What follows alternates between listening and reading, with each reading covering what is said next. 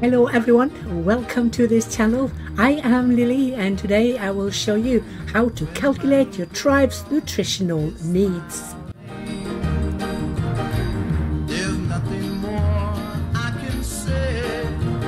in any of the timelines. Calculating and getting the food needs of your tribe right is tricky as it is not only pending the environment and your tribe size, but also the varying composition that your tribe is made up from. In the Mesolithic timeline, we simply follow the food to the next locality. We have no other real choice when food reserves are gone in the current. While in the Neolithic timeline, we can stay sedentary, building farms, to take care of the majority of the food needs that the tribe has. We can get away with miscalculating farm and food needs in general for large tribes in both the beginners and expert difficulty, as all food, both wild and cultivated, comes in big abundance. While in hardcore difficulty, we do not have that option. After just a few years, same locality, your wild produce will be so low, you will need farms or migration.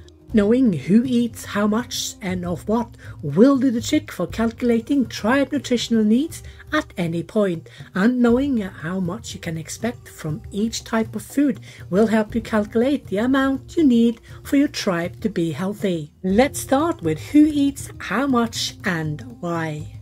The varying food types have various amounts of calories in them. This is why you will sometimes see people are eating 5 units of berries while only below 1 unit of dried meat. And all tribe members have a specific caloric need. High calorie foods are all animal products and produce such as milk, raw fish and raw meats, hazelnuts, and all processed foods such as dried fish, dried meat, cheese, and bread. Low calorie foods are pine nuts, honey, clams, bone marrow, and both types of berries. All other food types are in between the two.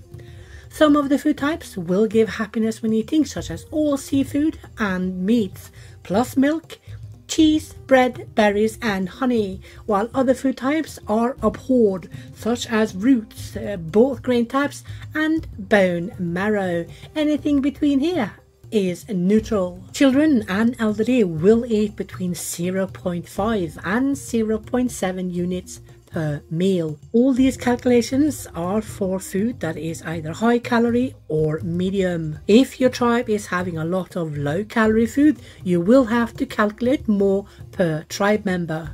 Adults will eat between 0.7 and 1 full unit. Pregnant women and nursing mothers can at times eat over one unit, pending the calories of the food that they are consuming. The reason pregnant and nursing mothers need more is because they are basically also feeding their little one. The composition of age groups in the tribe can now be used to calculate the approximate amount of medium calorie food your tribe needs per meal. To get painstakingly exact numbers, you will need to change the numbers per death, per birth, per low calorie versus per medium and per high calorie food. Have fun! We will calculate with medium to high calories. In this hardcore tribe, we have 253 members in total. We will round up with 5 in all categories.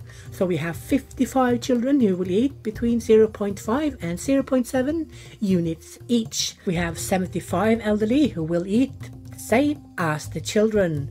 Adults are 125 who will eat approximately a little bit less than 1 unit per meal with medium calorie foods. Children and elderly put together gives 130 members who will eat an average of 0.6 unit max of medium calorie food per meal.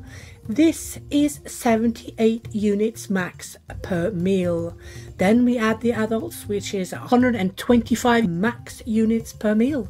Then we have 10 babies, which means the mothers will need approximately 0.1 to 0.2 units extra or more per meal.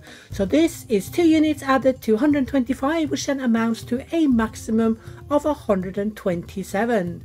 Altogether, we now have a total of 205 max units per meal. We wish to have then between 180 and 205 units per meal. Now let's calculate per sleep. All numbers will be an approximate as tribe normally eat a mix of low, medium and high calorie foods. The tribe eats two meals per sleep.